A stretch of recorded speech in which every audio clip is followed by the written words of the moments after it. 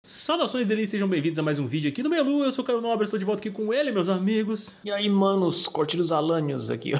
É isso aí, meus amigos. Eu estou aqui com o meu querido Alanios, o Coruja, porque nós temos que falar novamente de Batman aí, rapaz. Ou então Gotham Knight, já que não tem o Batman no nome, né? E tem muita gente falando aí, não, é só Gotham Knight na internet. Pra gente também é Batman Gotham Knight, porque tem o Batman aparecendo ali, então tá bom. Porque hoje, galera, nós temos que falar aqui do seguinte: Batman de fato morreu, cara? Será mesmo? No trailer fala ali que ele tá morto e tal, por isso que aquela mensagem tá sendo entregue lá pra galera. Mas nós temos algumas coisas aqui pra poder comentar com vocês a respeito disso que podem indicar aí, talvez, que o nosso querido Homem Morcego não tenha morrido. Até mesmo eu e o Alan, a gente ficou meio desconfiado quando vimos o trailer pela primeira vez aí. E a gente tem algumas informações também relacionadas a cada um dos personagens, né? Os quatro que nós iremos controlar ali, com base no seu gameplay, no seu estilo e tal. Temos detalhes bem interessantes pra vocês. Mas antes de continuar, eu gostaria de pedir a você que esteja de deixar aquele likezinho aqui embaixo, se inscrever no canal e ativar o sininho para a notificação dos próximos vídeos, meus amigos. É uma regra do YouTube, cara. Então já tive poder ficar esperto e vem com a gente. Acesse o nosso site lá, o meiolo.net, com notícias de games lá todos os dias para vocês e também a nossa plataforma roxa de lives com transmissões ao vivo que nós fazemos lá direto para vocês durante a semana aí com recursos de interação lá no chat para vocês que são bem divertidos. Então vamos lá, meu querido Alanios, começando a falar sobre isso aqui, cara. Rapaz, Batman será mesmo que ele pode ter falecido aí? O que, que você acha, hein? Olha, a gente já viu diversas vezes o Batman fingindo a morte, né? Não diversas vezes, mas a gente tem grandes histórias em que o Batman ele finge a morte. A mais conhecida delas é a que ele enfrenta o Superman, né? O retorno do Cavaleiro das Trevas aí. É estranho, é difícil ter uma morte decisiva de um personagem tal, principalmente um personagem como o Batman. Mesmo querendo trazer à luz aí toda a Batgalera, né? tipo no outro vídeo, é meio difícil a gente conceber a ideia de que o Batman realmente tenha morrido nessa história. Eles teriam que ser um pouco corajosos aí para tomar uma decisão e fazer um jogo com a Batgalerinha ali sem realmente nada do Batman. A ideia de que o Batman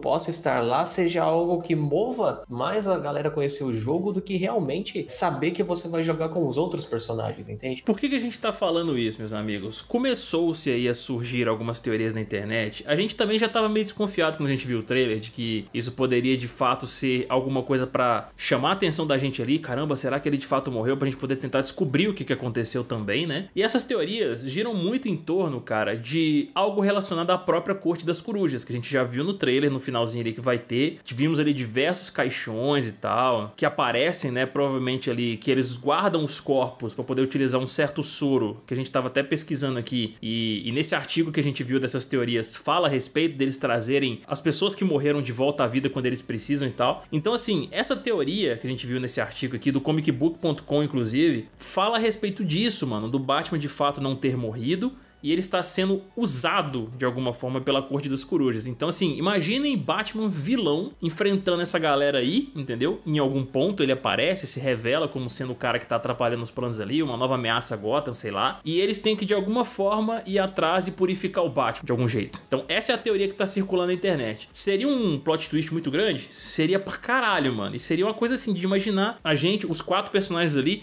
enfrentando o Batman. Olha só que loucura, Lance. Eu dei uma olhadinha a fundo, né? A Corte das Corujas ela tem alguns assassinos, né? Que o nome em inglês é chamado Talon. Então, cada vez que eles precisam de um desses assassinos, eles vão lá e injetam um soro que desperta o cara e depois ele volta a dormir. E aí a ideia seria que eles tivessem conseguido pegar o Batman, aplica o soro e tal, mas a ideia é que isso funciona com assassinos da corte do passado. E aí nessa parte vocês até podem ajudar a gente, né? Para saber se realmente o soro funciona de uma forma que apaga a memória do cara. Se é simples assim de ir lá e manipular a mente, se é só assassino de verdade. O que eu sei sobre o soro é que ele põe o cara para dormir e acorda na hora que precisa. Agora, eles pegarem o Batman para transformar num assassino, isso daí, cara, tem a ver com a questão de lavagem cerebral e tal. Tem mais um monte de coisa envolvida aí, né? É, eu acho que ele pode ter forjado a própria morte também, entendeu? Porque esse negócio da corte das corujas que a gente tá comentando é uma teoria, tá? Que o comicbook.com levantou aí. Pode ser que sim, sim. Pode ser que não, também. Mas pode ser que ele tenha forjado a própria morte dele de alguma forma para proteger a cidade, proteger a Bat-família de algum perigo, talvez da própria corte das corujas, a gente não sabe, entendeu? A gente tem que esperar pra ver. Mas eu acho que o Batman não foi dessa pra uma melhor ainda não, mano. Na história que eu vi que tinha envolvimento ali da corte das corujas, né? Tem envolvimento do Damian Wayne também na história. É, então isso me leva a crer que em algum momento a gente pode ter notícia do Damian também. É uma coisa que eu quero porque geralmente ele tá envolvido, né? Nesse universo, o Damian já, já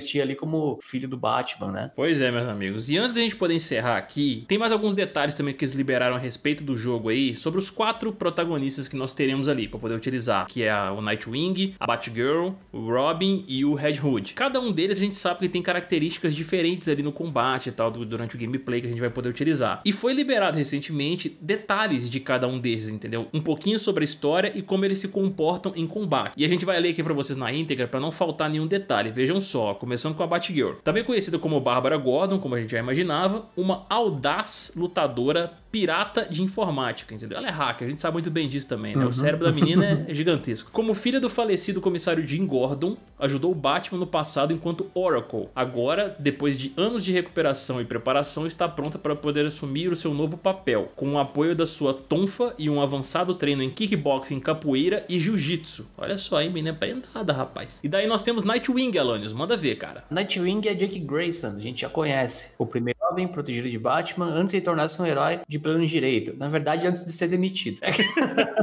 é um líder por natureza e o mais velho da atual família, né? Foi o primeiro Robin, a gente conhece bastante. Suas habilidades de ginasta aliadas à utilização dos seus fiéis Screamer Sticks tornam num pesadelo para os inimigos, né? Então, Nightwing aí, primeiro Robin e tal, nenhuma alteração na história dele, né? Tudo certo até o momento. Exatamente. Daí a gente tem o Red Hood, meus amigos, ó, anteriormente conhecido como Jason Todd, também é um nome bastante conhecido aí pela galera. É um anti-herói intenso e volátil, características que resultaram da sua morte e consequente ressurreição forçada por um dos piores inimigos do Batman. Red Hood tem dificuldade em controlar o seu temperamento, mas não hesita quando um amigo está em perigo. O seu treino deu-lhe uma força surpreendente e o domínio de diferentes técnicas de combate e utilização de armamento. Ele vai ser o bruto do grupo, no caso, né? Cara louco, cara doente ali. Exato, cara. Nossa, eu, eu curti demais o visual dele, tô muito interessado em ver mais do gameplay dele ali, saca? E o último ali, Robin Drake. Então eu achava que era o Damian e tal, fiquei na dúvida, né? Vocês viram lá no React. É, o jovem prodígio, gerando a equipe, mestre do raciocínio lógico e dedutivo. Como um verdadeiro crente na missão de Batman, motiva a proteção de Gotham City e o objetivo de tornar-se a personificação do antigo mestre. Então, ele confia pra caramba na missão do Batman e quer um dia aí poder suceder o Batman, né? É um lutador armado experiente, equipado com seu quarterstaff, conhecido por diferentes técnicas furtivas. Robin também possui experiências em ciências comportamentais e manipulação psicológica. É o mini Batman, só que com um pedaço de pau na mão, né? Exatamente, cara. Eu achei muito foda essa descrição dele aqui, principalmente esse finalzinho de ciências comportamentais e manipulação psicológica. Ele parece ser o cérebro do grupo ali, junto com a própria Bárbara, né, mano? Que é mega inteligente também, já que ela é uma hacker e tudo mais. E o Red Hood e o Nightwing, eles parecem ser mais habilidosos em termos de combate, porque o Red Hood ele é um louco bruto, o Nightwing ele é mais velho e experiente, entendeu? Só que o Robin e a Bárbara Gordon não ficam atrás desse sentido também. Então eu quero muito ver, principalmente, a gente viu o gameplay rolando aí e tal, quando eles apresentaram Gotham Knights, deles trabalhando em conjunto, cara. Isso vai ser uma coisa muito foda de a gente ver. Comentário que eu queria fazer aqui, que eu achei interessante, foi no overall, né, da história ali. Então, Nightwing a gente não viu nenhuma alteração ali, nada de novo, né, na atual realidade do jogo. O Red Hood continua mesmo lance ali, foi ressuscitado ali na Lazarus Pit. Tim Drake ele continua o Robin, mas a Batgirl ali interessante que a história dela situa a gente em qual momento a gente tá do universo do Batman, né? É, o Gotham tá morto nessa história. Olha quanto tempo na frente que tá isso daí. É, e vale lembrar que eles já confirmaram que esse jogo não tem relação nenhuma com Arkham Knight, tá? Não é continuação nem nada. O Esquadrão Suicida, sim. E agora a gente quer saber de você aí, ó. O que vocês acharam aí das características de cada um desses personagens aqui? Qual chamou mais atenção e qual vocês vão querer experimentar primeiro? E, importante também, cara, o que, que vocês acham que aconteceu com o nosso querido Batman? Com essa teoria que tá rolando da Corte das Corujas? Ele pode ter forjado a própria morte? O que, vocês pensam sobre isso, cara? Deixem suas opiniões aqui embaixo nos comentários. A gente vai adorar ver de todo mundo.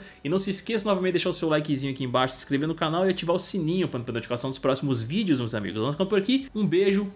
Gostou? Você dá uma olhada para esquerda e direita de cada um de vocês. Até mais. Fomos!